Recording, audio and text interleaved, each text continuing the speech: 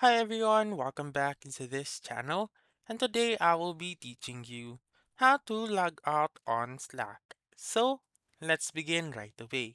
The very first step is to open your Slack application but if you don't have the Slack application, you may go to app.slack.com.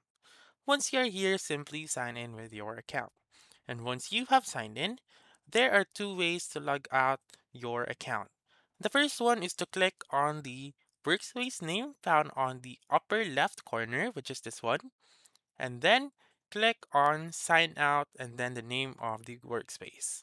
And then the second option is to click on your profile found on the upper right corner and then click on it and click on sign out and the name of your workspace. So again, there are two options on the upper left corner, which is the channel name, I mean the workspace name, and then on the upper right corner, which is your profile. So that's it. That's how you can log out on Slack. So that's all for this video. Let me know in the comments section if this works out for you. For more helpful tutorials like this, please subscribe to our channel and don't forget to click that notification bell. Thank you for watching and have a wonderful day.